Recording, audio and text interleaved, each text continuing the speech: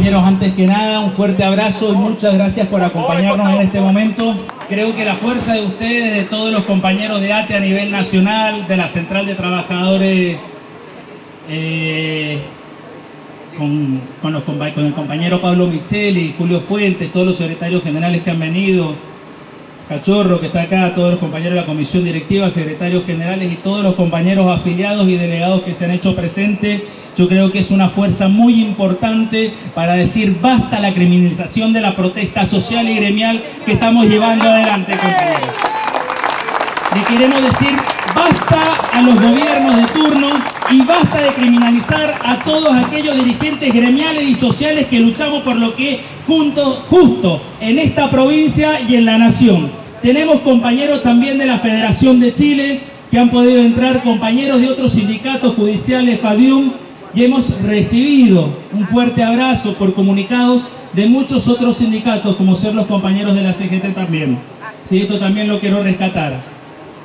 Pero fundamentalmente, en este caso, bueno, fui sobreseído eh, recién, bien, eso es lo que les quería comunicar ya han empezado todo lo que vendría a ser la parte oral, donde la compañera Raquel Blas ya ha declarado, eh, ya han empezado las declaraciones con los testigos que ha puesto, diríamos, el gobierno provincial, ¿sí? que se están prestando como testigos. Creo que tenemos que seguir eh, manteniendo esta fuerza y este acompañamiento, creo que es lo mejor que podemos hacer, creo que, creo que esto es lo que nos hace ser grande, esto es lo que nos hace ser ate. Cuando nos tocaron a un compañero dentro de esta provincia o dentro de la Argentina, todos estuvimos juntos, hoy día nos tocó a nosotros, estamos juntos nuevamente, así es como se construyen las cosas, así es como se construye este sindicato, así es como se construye la justicia social y así es como vamos a seguir construyendo una nueva justicia social sin criminalizar a todos aquellos trabajadores y aquellos dirigentes sociales que estamos acá. Por eso, compañeros, les quiero decir una cosa, una cosa sinceramente de corazón y que la venía trayendo desde hace bastante tiempo. Que acá no son solamente los dirigentes gremiales los que llevan esto adelante,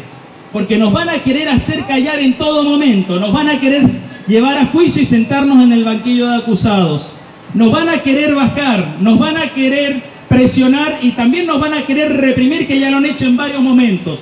Pero tengamos en cuenta que todos los compañeros delegados, afiliados y todos los militantes sociales son el micrófono de aquellos que no tienen voz, compañeros. Por eso digo, fuerza, adelante, vamos para adelante, sigamos construyendo una justicia social verdaderamente justa y basta de criminalizar la protesta social y gremial de todos los trabajadores de la provincia y de la Argentina, compañeros. ¿Sí? yo, bueno, y, Roberto y todos nosotros, ¿no? Eh, agradecerle a tantos compañeros de acá de la provincia, del país, trabajadores del Estado y no trabajadores del Estado y, todos los que han estado aquí, porque la verdad que en estos momentos, eh, esto que ha pasado hoy acá, nosotros lo que nos da toda la, la garantía y la fuerza y la seguridad de que no nos hemos equivocado, sobre todo eso, de que no nos hemos equivocado en el camino que hemos trazado y que vale la pena, a veces vale la pena afrontar cualquier tipo de, de consecuencia que nos quieran hacer pagar los poderosos de turno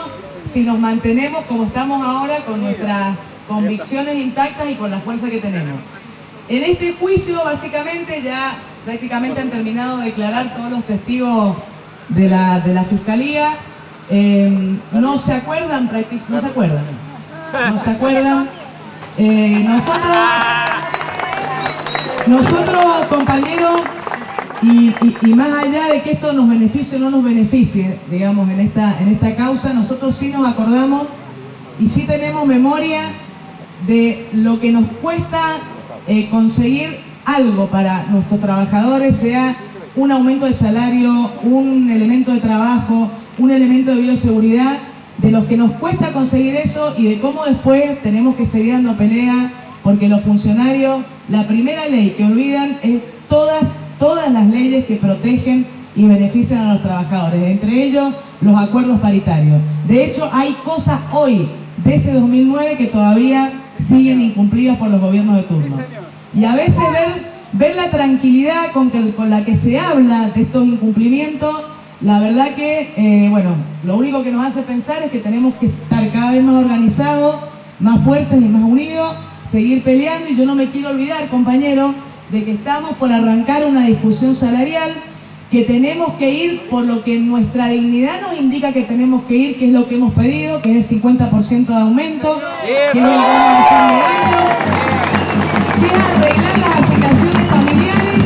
Y tenemos que dejar en claro, como hoy hemos dejado en claro, que esté quien esté, esté quien esté al frente de ATE, sobran en esta provincia compañeros trabajadores, compañeros de organizaciones sociales, para sostener la bandera, llevarla adelante y que la lucha, compañeros, se gana cuando estamos acá.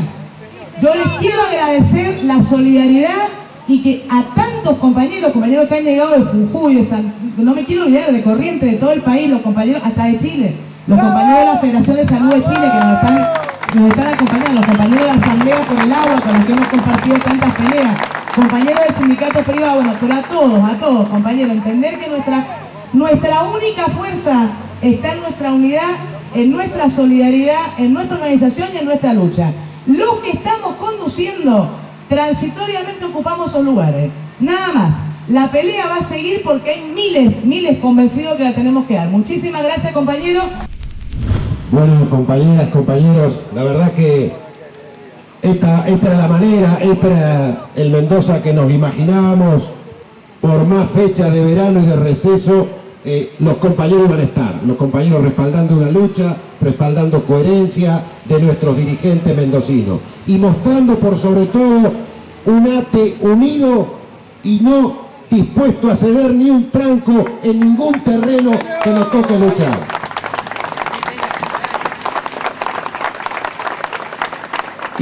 Con claridad, compañero conceptual, donde tocan a un compañero de ATE, sea en el lugar que sea de la República Argentina, todos juntos, como un solo hombre, como una sola mujer, dispuestos a pelear, dispuestos a dar batalla. Hoy, frente a este proceso, que esperemos haya hombres y mujeres en la justicia que hagan honor a tener algo dignidad, porque haber llevado esto a un juicio, estar gastando fondos públicos en este juicio, en, este, en esta patraña que se ha pretendido montar este, de calumnia a nuestros dirigentes, realmente haber llegado hasta acá es una barbaridad. Esperemos que haya hombres y mujeres en la justicia que sean capaces de decirle al poder político que el conflicto no se soluciona, el conflicto social no se soluciona con el código penal, se soluciona con política distributiva, se soluciona con diálogo, con respuesta a la demanda de los trabajadores. La verdad es un honor poder estar acá acompañando a los compañeros en esta situación que en algún momento daba un poco de vergüenza pensar con todos los problemas que tenemos en la Argentina, estar perdiendo tiempo ahí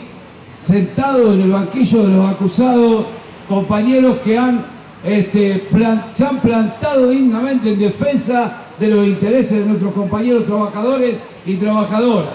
En lugar de estar juzgando a los verdaderos responsables que generan las crisis todos los días, los jueces en esta disputa que tienen con el Poder Ejecutivo terminan cortando el hilo por lo más delgado, intentando judicializar cada vez más la protesta social en la Argentina. Yo quiero decirles que hoy hay una marcha en Buenos Aires por tantos miles de compañeros y compañeras procesados que hay en Argentina porque estamos reclamando contra esa ley antiterrorista y para que se termine la persecución a los luchadores populares de nuestra patria. Y quiero decirles que de la CTA vamos a estar como estuvimos hoy en Mendoza aquí acompañando a Raquel y a Roberto en cada punto del país donde se quiera judicializar a nuestros compañeros y compañeras. No vamos a permitir de ninguna manera que esta justicia termine siendo furgón de cola del Poder Ejecutivo y termine siendo lo que le manden los gobernadores o los presidentes. Debe ser independiente, debe ser un poder independiente que se dedique a juzgar a los que roban al pueblo y no a los trabajadores. Ese es nuestro compromiso. Más lucha para parar esa judicialización.